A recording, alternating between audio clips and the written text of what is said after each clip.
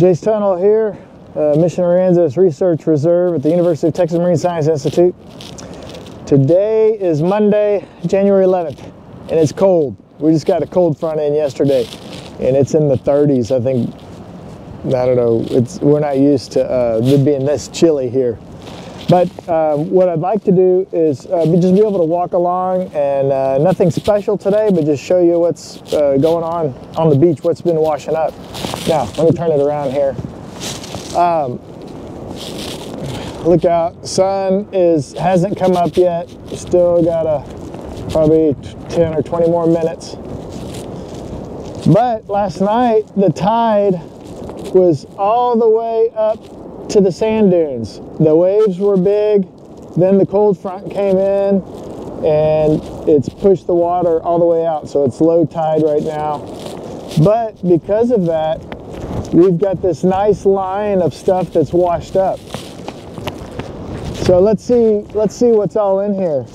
And I haven't, I you know, I just pulled up here, so I haven't really looked too much. I got my mittens on, I got papers on.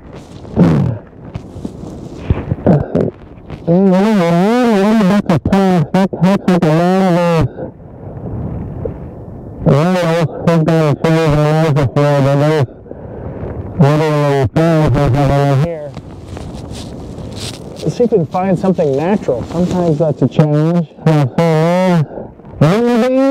No. Nope. That's a black mangrove seed. What's this? Okay. Now this is a cotton bud. You know how I know that? The difference between a cotton bud and another common one that we find, which is uh, the popsicle stick. This actually has a lot of little bitty slits in it and on both sides. And so that's where the cotton uh, attaches on there. I was gonna see if I could find a popsicle stick. We'll keep watch, uh, walking here. See if we can find that. Now, look at this. The number one piece of trash found anywhere in the world at any cleanup at any time is cigarette butts. And that is actually made out of uh, plastic. Uh, and pick that up and throw it away correctly. Um, another thing that we find all the time during cleanups is bottle caps. So this is from a water bottle. We find that those all the time, and that those are real dangerous. Uh, you see the shape of it, you know, if sea turtles eat that, or fish, or, or birds try to swallow it. You know, anything round like that can get stuck in their air passageways. Let's see. We've still got some of this reed. You know, uh, about a month or two ago, we had a lot of this kind of bamboo looking stuff that had washed up, and I mean crazy mats of it. So it looks like there's still a lot of that out, out and about.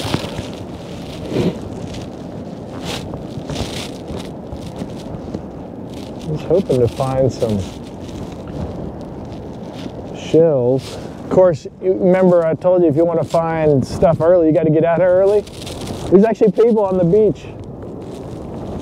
And I mean, it is cold and windy. The wind is uh, blowing probably 20 mile an hour. Look at, I don't know if you can see the tops of those waves just blowing back. Oh, and the location we're at, we're uh, Whitecap Beach, and that's on North Padre Island. See some more, uh, more uh, black mangrove seeds. We find a lot of times, um, there's a couple of black items you can find. This one here, uh, looks like it's uh, old tar that's hardened and then broke apart. But lots of times you find charcoal, so like wood that had like, um, so, so this, this is actually wood that was burned and then um, washed up. So for people from fires or maybe that's most most of the time why we find that is people having fires on the beach we also find lots of seeds. So uh, here's a nice little round seed. Uh, the other the other week when all that reed was and bamboo type stuff was floating up, we had these types of seeds um, that were coming out. But that shows you that, you know, you talk about how things get from one place to another and how you get invasive species vegetation. It has to do with the ocean currents bringing stuff up on the beach and up into the bays, and then it plants itself, and then we start getting. The, that's one way. Another way is for animals like birds to eat them, eat those seeds, then fly over here, poop them out, and then they, the plants start growing. And like how we have Brazilian pepper uh, problems that we're trying to get rid of. Although they're real pretty plants, but uh, real bad for the environment. Now look at this. From a fishing lure. Keep that one.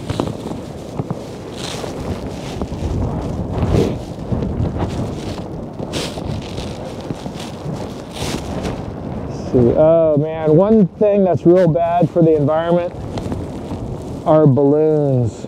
And uh, you know, when these things are, are big and floating around out there, they, they look like um, jellyfish and uh, sea turtles eat them, uh, all kinds of animals. And then, and then once they get back up on land, and even after that, but see that long string, that entanglement is huge for sea turtles and birds. Oh, now look, here's something natural. What do you think this is? This is the first one of this year I found. But this is actually uh, an egg casing. And it's an egg casing for a lightning whelk. Ugh, let's see here. Egg casing for a lightning whelk. Cool, huh? well, I'm glad we found something natural that was cool today.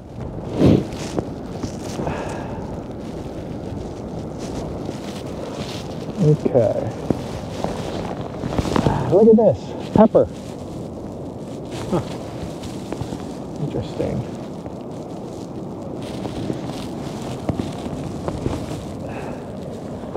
Look at that. A head of a pig bush here. Local plastic, light, reflector. Pick that up. See. Man, our bodies used to the cold weather. Sometimes you gotta dig around in here. You wanna, uh, now this right here this is actually drift algae. So this comes, this floats around out in the bays uh, and then gets taken out through the passes and then washes up on the beach. And sometimes you can find big mats of this stuff washing in. Uh, the other thing that we see is sargassum, which is actually uh, that floats out in the ocean uh, in big mats, provides real good habitat. And then this other stuff we have here, we have uh, seagrass, different, this is shoal grass from up in the bays. Well, maybe that's it for today.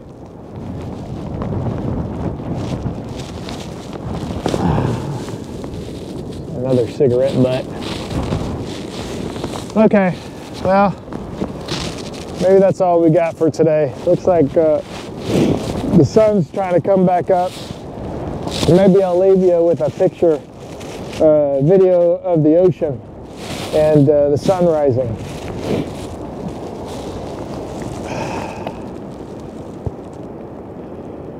Wow.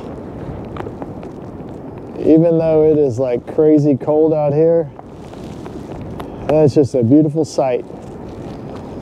Okay, till next week, we'll see what's washing ashore on beachcombing. Talk to you later. Bye.